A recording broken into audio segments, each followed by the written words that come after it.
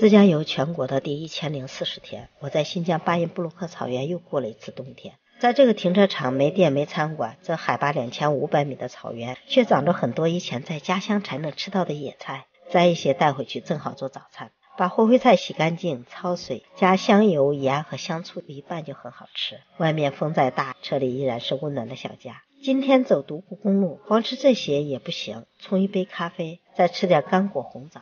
年纪不断增长，身边也喜欢时刻准备点健康小零食。好想你枣仁派正合我口味，红枣软糯，核桃仁酥脆紧实，一口吃到两种营养，老人、妈妈、小孩吃都合适。特殊压榨工艺，独立锁鲜包装。再拿几个黑芝麻口味到驾驶室，路上饿了随时停下来补充体力。比玩雪更让人开心的是夏天玩雪，高耸的雪山和短袖短裤，让人一时分不清这是在冬天还是夏天。管他呢。开心就行了。孩子抓住春天的草甸，奋力爬上山顶，不再顾及融化的雪水是否冰冷。有幸看见大片美丽的野花伴雪而生，这只是独库公路的一角，也是冬天留给夏天独库浪漫的礼物。